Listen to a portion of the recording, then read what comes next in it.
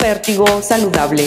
En México, poco más de 4 millones de personas padecen epilepsia, una enfermedad neurológica que se puede controlar o curar con fármacos, cirugía u otros tratamientos, permitiendo a la persona desarrollar sus actividades cotidianas en el ámbito laboral, escolar y social.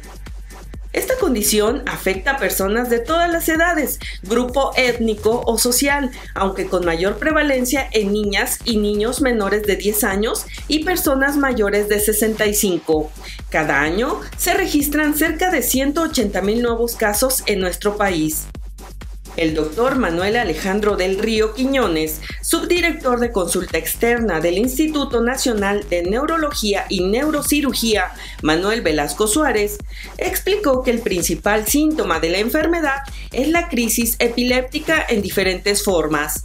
La más grave es la convulsión no provocada, casi siempre con episodios recurrentes de no más de 3 minutos de duración debido a descargas neuronales desordenadas que pueden tener causas genéticas, hereditarias, infecciones, daño perinatal, enfermedad vascular cerebral y traumatismo cráneoencefálico, entre otras.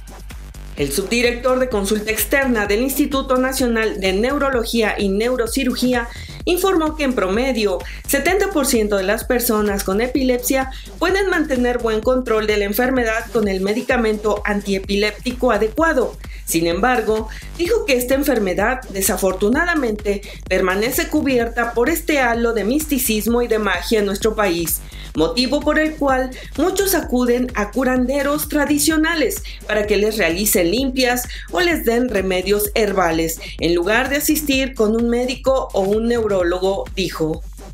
Debido a que el Instituto Nacional de Neurología y Neurocirugía es un centro especializado de referencia, las personas son enviadas de hospitales locales o regionales que no cuentan con infraestructura necesaria para estudiar y tratar cada caso.